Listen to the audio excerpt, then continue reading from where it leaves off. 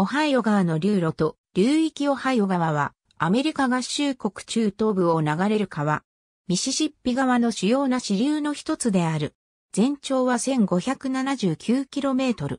川はペンシルベニア州ピッツバーグに始まり、イリノイ州カイロでミシシッピ川に合流して終わる。オハイオ川は歴史的に重要な川である。流域一帯のネイティブアメリカンたちは、この川を主要交通手段としていた。入植した白人は貸しに、いくつもの河口を作り、都市を建設して、水上交通の拠点とし、流域の豊富な鉄鉱石や石炭を利用して産業を起こした。また南北戦争前には南部の黒人奴隷にとってこの川を渡ることは自由への道を意味していた。オハイオ川はペンシルベニア州ピッツバーグを起点としている。ピッツバーグのダウンタウンにあるポイント州立公園でアレゲニー川とモノンガヒラ川が合流し、オハイオ川という名称に変わる。ピッツバーグからしばらくペンシルベニア州内を北西に流れた後、ペンシルベニア・オハイオ・ウェストバージニアの3つの宗教に達する。そこから南西へと流路を変え、オハイオ・ウェストバージニア州境を形成する。オハイオ・ウェストバージニア・ケンタッキーの州境に達すると、北西へと流路を変える。オハイオ・ケンタッキー州境を形成しながら、シンシナティ付近で南西へと流路を変え、ケンタッキー州とインディアナ、イリノイの各州との州境を形成し、イリノイ州カイロのディファイアンストリデ州立公園でミシシッピ川に合流する。合流点はケンタッキーイリノイミズーリ3州の宗教になっている。オハイオ川の流域面積は49万603平方キロメートルで日本国土の約1.3倍にあたる。流域はアメリカ合衆国中東部の大部分を占め、南部にもまたがる。川は次のような州を流れ、その流路のほとんどは宗教を形成している。ミズーリ州は、オハイオ川とミシシッピ川との合流点のみで、オハイオ川に流れ込む川が一本もないため、オハイオ川流域には含まれない。オハイオ川流域に含まれる各支流のうちテネシー川が最大の支流であり、以下の多くの州が流域となっている。オハイオ川、テネシー川以外のオハイオ川流域には次のような州も含まれる。オハイオ州、ディプリー付近を流れるオハイオ川古くから重要な水上交通路であり、また流域には鉄鉱石や石炭などの天然資源が豊富であったことから、貸しにあった多くの町が港湾都市、工業都市として発達した。シンシナティルイビルオハイオ川沿岸の都市、町村の完全な一覧については、英語版、ウィキペディア、EN、リストオブシティーズタウンズアロングザオハイオリバーを参照。ヨーロッパ人が入植する遥か以前から、ミシシッピ川の全支流中最大の水量を有するオハイオ川は、ネイティブアメリカンたちにとっての重要な水上交通路であった。今日ピッツバーグ位置するアレゲニー川とモノンガヒラ川の合流点は、この地に住むネイティブアメリカンにとっても、西への進出を図る入植者たちにとっても、重要な地であった。イギリスはこの2本の川の合流点を軍事戦略的に重要な地と位置づけ、この地に砦を建設した。1749年5月19日、イギリス王ジョージ2世は、この2本の川の合流点を中心とした約800平方キロメートルの土地をオハイオ会社に与えた。ペンシルベニア・バージニア両植民地の入植者たちは、この地を探索し、ネイティブアメリカンたちと交易を行った。一方、かねてより、オハイオ川流域の領有権を主張していた、フランスもこの地に砦を建てた。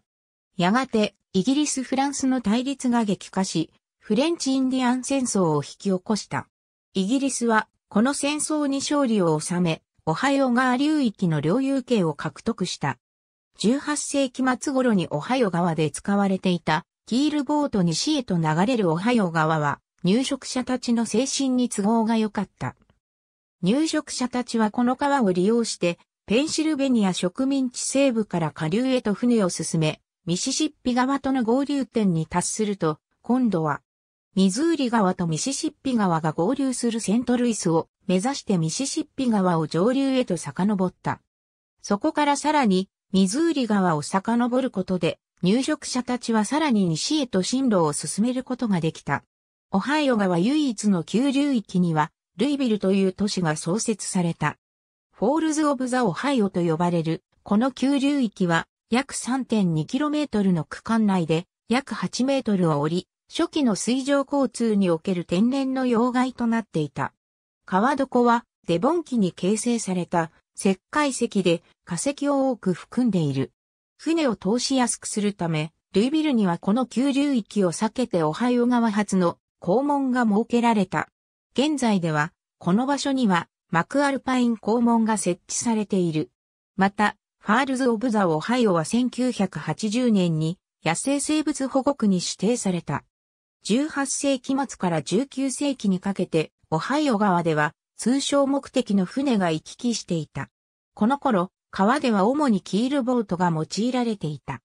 オハイオ川を下り切った船はそのままミシシッピ川を降り、ニューオーリンズの港を目指した。ニューオーリンズからさらに川を下ってメキシコ湾を渡り、アメリカ大陸の他の港やヨーロッパへと船を進めることもあった。こうした水上交通の発達により、オハイオ川流域には東からアパラチア山脈を越える長く険しい山道に変わる西からの新しい物資供給路が確立した。この地域におけるニューオーリンズ港の需要が高まったことは、1803年のルイジアナ買収へとつながった。19世紀初頭、カシノ入りのイ州、ケーブインロックに海賊の本拠が置かれた。海賊たちは川を行き交う船を襲い、乗組員を殺して積み荷を奪い、その船を川に沈めた。リプリーのメインストリートは、オハイオ川を終点としている。かつて、この町は、奴隷解放組織、地下鉄道の重要な拠点であった。オハイオ川はまた、南部の黒人奴隷たちにとっては重要な意味を持つ川であった。オハイオ、インディアナ、イリノイ各州の南の境界線である。この川は、そのまま北部の自由州と南部の奴隷州の境界線でもあった。南部の黒人奴隷たちは、自由を求めてこの川を船で、または氷の張った時期に渡った。これら3州、特にオハイオ州の歌詞には、こうして川を渡ってきた奴隷たちをかくまい、さらに北へ、時にはカナダへの亡命を手助けする地下鉄道と呼ばれる秘密組織の拠点となっていた町がいくつも存在した。今日ではこの川はただ単に五大湖周辺の州と南部の州とを分ける境界線としてのみ認識されている。かつてバージニア植民地はオハイオ川の領有権を定めてはいなかったが、対岸はバージニア植民地のものとされ、事実上川全体がバージニア植民地の領有権のもとにあるものと解釈されていた。その解釈は、ケンタッキー州とウェストバージニア州がバージニア州から分割し、州に昇格しても、その2州に受け継がれ、オハイオ川が宗教を流れる箇所では、川全体が川の南側の州に属するものとされていた。しかし、1980年にケンタッキー州がインディアナ州側に建てられた原子力発電所をめぐって訴訟を起こした際、合衆国最高裁判所はケンタッキー州の領有権を1793年時点での低水時の貸しまでとし、訴えを退けた。これは同時に、ウェストバージニア州の領有権も川には及ばないことを事実上示唆したものであり、バージニア植民地時代からの解釈が覆された。1990年にも、ケンタッキー州は、イリノイ州メトロポリスのカジノの税収をめぐって裁判を起こした。地学的には、オハイオ川は若い部類に入る川である。川が成立したのは約250万から300万年前である。最初の表記にあたるこの頃、北を流れる川はせき止められていた。その中で最大の川であったテーズ川は現在のオハイオ川の元であったとされている。テーズ川は氷河に吸収され、あるいは流路の変更で跡地に湖や谷を形成した。オハイオ川の上流域は氷河湖が南のテーズ川に流れ出したことによって形成された。それ以前は北に流れるステューベンビル川が存在していた。一方、南にはマリエッタ川が流れていた。溢れた氷河湖は、この2本の川を分ける丘を削り取り、1本の川につなげた。溢れ出した水は谷を広げ、川幅を広げた。こうして形成された川幅の広い川は、氷河期が終わると、周囲の氷河湖や溶け出した氷河を干上げた。谷は氷河期が来るたびに広がっていった。なお、ステューベンビル川、マリエッタ川のいずれの川も現存しない。オハイオ川上流域が形成されると、周囲の小さな川はその流路を変え、あるいは干上がって谷になった。干上がった川の跡地としての谷は、オハイオ州南東部からウェストバージニア州北西部にかけての衛星写真や航空写真でも目にすることができる。